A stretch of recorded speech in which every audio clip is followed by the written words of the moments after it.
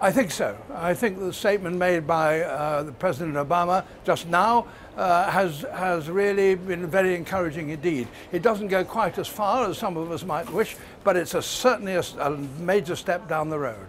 Do you uh, agree with India's uh, Prime Minister Modi, who's asked for climate justice, that curious phrase, but he's basically saying that those countries that have developed, that have uh, become powerful on the back of the use of fossil fuels, should now give more? Yes, but, the, uh, but President Obama's statement and certainly the Global Apollo program, which I'm hoping to support, uh, provides exactly that.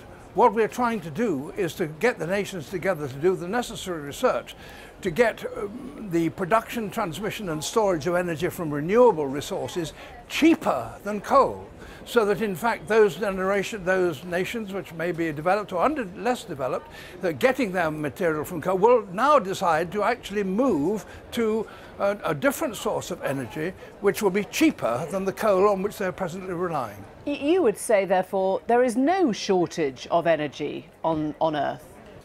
There's no shortage of energy from the sun. We use one if we could harness one five thousandth part of the energy that the sun sprays upon the earth every 24 hours, we could provide all the energy requirements of the entire human race. One five thousandth part would do that. Well, we're suggesting we get not even that much, but that's what we're suggesting, that we should get it straight uh, from renewable resources from the sun. Why have we been so slow then? Why do you think, given everything that science has achieved, we haven't done that? Well, because it's easier to burn a piece of coal. Uh, to, there are scientific problems. I mean, we've solved the major ones of getting the energy in the first place. What we haven't solved so far is getting it cheaper. That's what we need to do, so that it is cheaper than coal. At the moment, anybody can go out and dig a piece of coal and they can light themselves a fire and get energy that way.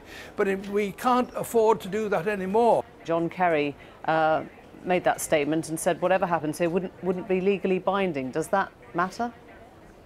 Uh, I believe that when the, you look at the, the, the, Obama's statement, that the will is there, and, and that's the important thing.